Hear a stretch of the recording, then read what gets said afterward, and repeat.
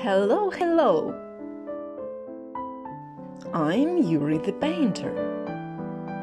I can paint everything.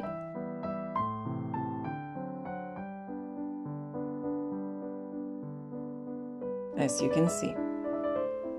But now I would like to show you something really amazing. My friend Hedgehog had fantastic summer holidays and he asked me to paint pictures. Here you can see Hedgehog in Paris.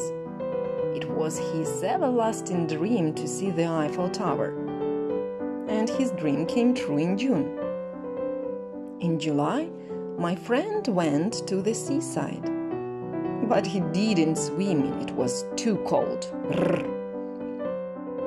In August, he went to the mountains.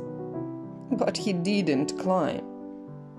Poor Hedgehog can't get over his fear of heights. The rest of the summer, Hedgehog enjoyed playing the guitar, having picnics, and hanging out with his twin brother.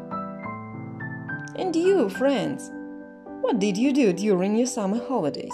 I can paint it.